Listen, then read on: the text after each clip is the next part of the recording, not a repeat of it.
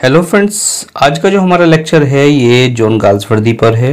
और friends specially यहाँ जो ये एमसीक्यूज हैं, ये 50 क्वेश्चंस का एक प्रैक्टिस सेट है। और ये सारे क्वेश्चंस इंपॉर्टेंट क्वेश्चंस हैं। और फ्रेंड जस्टिस जो प्ले है गाल्सवर्दी का, उससे लिए गए हैं। और देखिए, अगर गाल्सवर्दी की बात हो और एग्ज़ाम में जस्टिस या स्ट्राइफ की बात ना हो तो कुछ बात बनती नहीं है। मीन्स अगर गाल्सवर्दी से कोई क्वेश्चन आता है तो डेफिनेटली जस्टिस या जो स्ट्राइफ है, उससे डेफिनेटली क्वेश्चन आते हैं। तो फ्रेंड्स आई होप ये जो 50 क्वेश्चन हैं, इसका जो एमसीक्यूज है, ये आपके लिए एक, आपके सिलेक्शन की तरफ़ एक प्लस पॉइंट आपको प्रूव होगा, क्योंकि इसमें इंपॉर्टेंट क्वेश्चन का एक कलेक्शन है। तो चलिए फ्रेंड्स एक एक क्वेश्चन डिस्कस करते चलते हैं। देखिए फ़र्स्ट क्वेश्चन है by whom Justice was written ये तो इंपॉर्टेंट क्वेश्चन है, लेकिन सिंपल क्वेश्चन है कि किसने जस्टिस को लिखा। तो डेफिनेटली फ्रेंड्स आंसर इसका गाल्सवर्दी हो गया। और दूसरा question Galsworthy was born on कब पैदा हुए थे? जॉन गाल्सवर्दी तो डेफिनेटली फ्रेंड्स पैदा हुए थे 1867 में, यानी सी वाला ऑप्शन आपका ओके okay है। फाल्डर वॉज़ अब यहाँ क्वेश्चन आ जाते हैं कैरेक्टर्स को लेकर या डिफरेंट इवेंट्स को लेकर प्ले की। तो फाल्डर वॉज़ फाल्डर कौन था? तो फाल्डर कौन था फ्रेंड्स फाल्डर डेफिनेटली कौन था? देखिए manager head tracer junior clerk या ऑफ़िस बॉय तो फाल्डर की अगर बात करें तो फाल्डर क्या है फ्रेंड्स यहाँ इस प्ले में एक जूनियर क्लर्क है। कौन? फाल्डर नेक्स्ट बढ़ते हैं friends who was Sweedle in the play Justice अब स्वीडल कौन था? देखिए कैरेक्टर को लेके क्वेश्चन हैं. बड़े अच्छे क्वेश्चन होते हैं ये इंपॉर्टेंट होते हैं. Sweedle office boy advocate manager या नन ऑफ़ दीज तो फ्रेंड्स डेफिनेटली अगर स्वीडल की हम बात करते हैं तो स्वीडल कौन था? एक ऑफ़िस बॉय था इस प्ले में. हु वॉज़ फ्रॉम और फ्रॉम कौन था? फ्रॉम कौन एडवोकेट कॉन्वेक्ट मैनेजर या नन ऑफ़ दिस तो फ्रॉम कौन था फ्रेंड्स ये एक advocate who console Falder in the prison again and again तो फाल्टर को यहाँ कौन प्रिजन में बार बार कौन कंसोल करता है? कौन सांत्वना देता है प्रिजन में? रूथ कॉक्सन फ्रॉम या क्लीवर तो देखिए, अगर बात सांत्वना देने की करें तो कॉक्सन बार बार फाल्डर को सांत्वना देता है। फाल्डर को कितने टाइम की जेल हुई थी, कितने टाइम के लिए पनिशमेंट मिला तो सेवन, फोर, थ्री इयर्स या नन ऑफ़ दीज तो डेफिनेटली फ्रेंड्स, ये थ्री इयर्स के लिए मिला था। और ये भी आपको पता है क्यों मिला था? चलिए आ गया क्वेश्चन आ गया आ गया। कि why was Falder imprisoned because he alter the cheque altered the counterpoint steal the money alter the cheque and counterfoil तो यहाँ फाल्डर को पनिशमेंट क्यों मिला था फ्रेंड्स उसने एक चेक को आल्टर कर दिया था, एक बात काउंटर पॉइंट को आल्टर कर दिया था काउंटर फॉइल को हम्म? स्टील द मनी और alter the cheque and counterfoil तो फ्रेंड्स डेफिनेटली ये जो काउंटर फॉइल किया था उसने अल्टर चेक को किया था और काउंटर फ़ाइल को, दोनों को ही क्या कर दिया था? अल्टर कर दिया था। तो ऑप्शन आपका यहाँ हो जाता है डी वाला। Who poaches Falder in the end of the play who poaches Falder in the end of the play और एंड की बात करें तो फ्रेंड्स कॉक्सन है। Cokeson poaches Falder in the end of the play who insulted Falder at the sister's house who insulted किसने insult की थी Falder की? तो sister neighbour brother in law या नन ऑफ़ दीज तो डेफिनेटली फ्रेंड्स अगर insult की बात करें तो इंसल्ट तो ब्रदर इन लॉ ने की थी। Why did Falder alter the check? Because he wanted to lead a happy life, wanted to run away, wanted to elope with Ruth or wanted to become rich. उसने क्यों alter किया था इसको क्योंकि उसको कहीं ना कहीं पैसे की ज़रूरत थी और उसको he wanted to elope with Ruth वो रूथ के साथ इलोप करना चाहता था उसके साथ शादी करना चाहता था who was Ruth's husband Ruth के हस्बैंड कौन थे फ्रेंड्स फिशरमैन पियन ड्रंक या नन ऑफ़ दीज तो देखिए जरा अगर बात रूथ के हस्बैंड की करें तो he was a drunk drunk clear friends how many children Ruth has Ruth के कितने बच्चे थे? फाइव फोर थ्री या नन ऑफ़ दीज तो डेफिनेटली फ्रेंड्स रूथ के कितने थे? थ्री चिल्ड्रन थे. Who was well wisher of Falder Falder का वेल विशर कौन था? रूथ फ्रॉम कॉक्सन या जेम्स हो? तो बात अगर वेल विशर की करें तो फाल्डर का जो वेल विशर था वो था फ्रेंड्स कॉक्सन कौन? कॉक्सन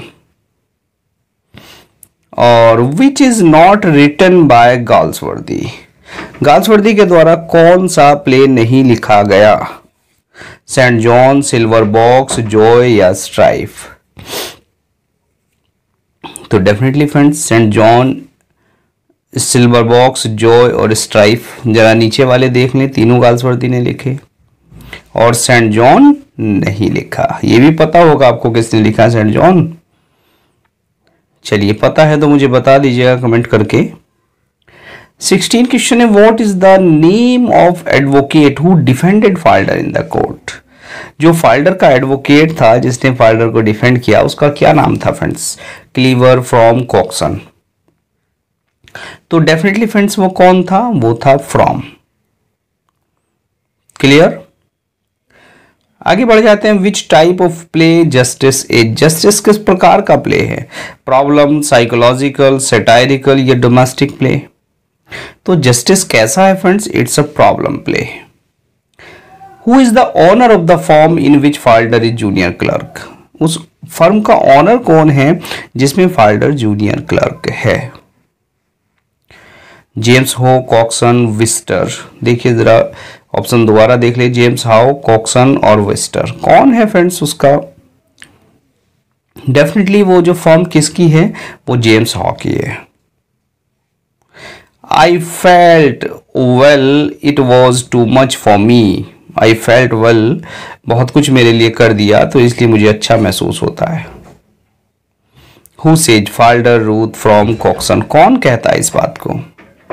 और इस बात को कहता है friends Falder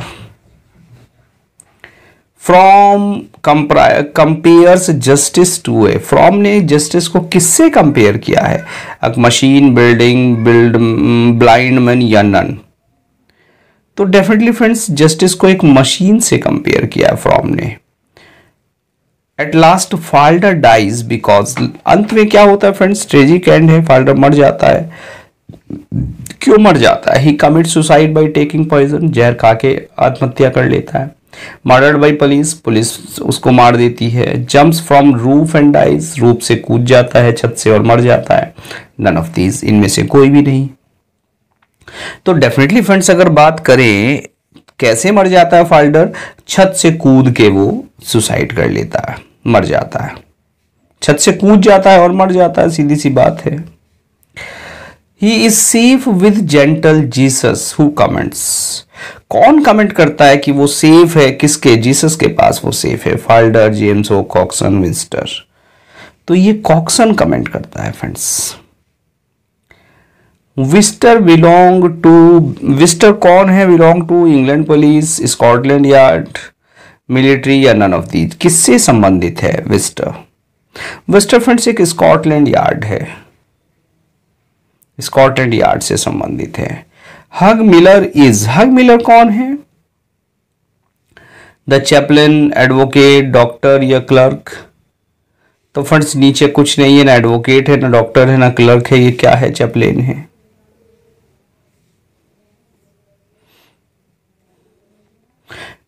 Cowley verifies the forged cheque because he is bank clerk advocate doctor या नन ऑफ़ दीज भाई, जो कावली है, वो फोर्थ चेक को वेरीफाई कर देता है क्योंकि कौन, क्यों कर देता है? क्योंकि वो एक बैंक क्लर्क है।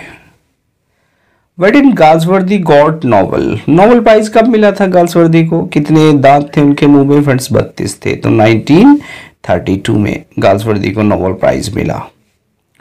आगे बढ़ जाते हैं friends. When did Galsworthy die Galsworthy की डेथ कब हुई थी फ्रेंड्स? तो डेफिनेटली फ्रेंड्स, नाइनटीन, कौन सा ईयर था? Thirty three, thirty thirty two, thirty three.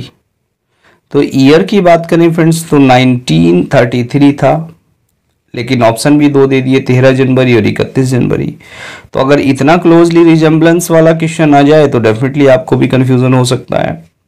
Clear friends तो डेफिनेटली ये जो चार ऑथर्स हैं टीजीटी वाले, इनकी डेट भी याद कर लें, दिन भी याद कर लें, और सन तो याद हो ही जाता है, कोई बड़ा इश्यू नहीं है। तो फ्रेंड्स डेथ कब हुई थी? 31 जनवरी 1933 को। Galsworthy took an honours degree honours degree in honours degree किसमें थी? Medical science English literature journalism या लॉ किसमें डिग्री थी गाल्सवर्दी पर? फ्रेंड्स लॉ में डिग्री थी उनकी। The first volume of Galsworthy stories entitled from the four winds appeared under the pseudonym किस स्यूडोनिम से फ़र्स्ट उनका वॉल्यूम आया था? डेफिनेटली इजी क्वेश्चन है जॉन सिन जॉन के नाम से आया friends as a dramatist Galsworthy presented new concept of as a dramatist Galsworthy ने किस चीज़ का नया कॉन्सेप्ट दिया? कॉमेडी सटायर ट्रेजडी या नन किसका नया कॉन्सेप्ट दिया उन्होंने फ्रेंड्स तो डेफिनेटली अगर बात करें तो ट्रेजडी को एक नया आयाम, नया कॉन्सेप्ट उन्होंने दिया। Who gives a cheque to Falder Falder को चेक कौन देता है?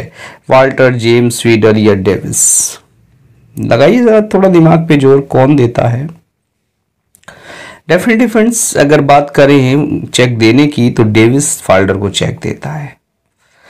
What is the age of Falder when he commits the crime किस एज में है फाल्डर जब वो उस क्राइम को करता है? Twenty three four twenty one या ट्वेंटी फाइव तो डेफिनेटली फ्रेंड्स तेईस साल का है फाल्डर ट्वेंटी थ्री का है।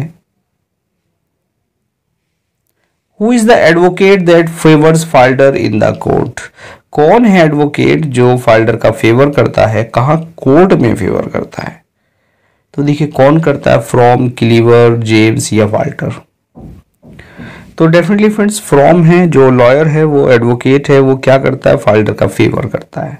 कहा कोर्ट में? Who altered the cheque from nine pound to ninety pound cheque कितना अल्टर कर दिया गया? नाइन पाउंड से नाइनटी फ्रेंड्स नाइनटी की स्पेलिंग बड़ी पूछी जाती है अक्सर। आ जाती है एग्ज़ाम में, याद रख लें। N I N E T Y ninety clear तो बात क्वेश्चन की कर लें। किसने चेक को अल्टर कर दिया था? नाइन पॉइंट से नाइन नाइन पाउंड से नाइन्टी पाउंड में। फ्रॉम डेविस फाल्डर या वाल्टर तो किसने अल्टर किया था फ्रेंड्स फाल्डन ने अल्टर किया था। अल्टर क्यों कर दिया था? He wanted to save Ruth from her cruel husband Ruth को उसके हस्बैंड से बचाना चाहता था। वॉन्टेड टू बी रिच वो रिच होना चाहता था। वॉन्टेड टू बी फ़ेमस वो फ़ेमस होना चाहता था। या नन ऑफ़ दीज इनमें से कोई भी नहीं। तो कौन सी बात थी वो? डेफिनेटली फ्रेंड्स देखिए, वो अपनी रूथ को अपने जो उसका हस्बैंड था क्रूअल हस्बैंड उससे बचाना चाहता था। इसलिए उसने इसको अल्टर किया था। Whose pocket did the cheque book remain till after Davis had sailed जब डेविस चला गया तो किसकी पॉकेट में वो चेक बुक पड़ी थी? तो definitely friends Walter James Falder या डेविस किसकी पॉकेट में थी?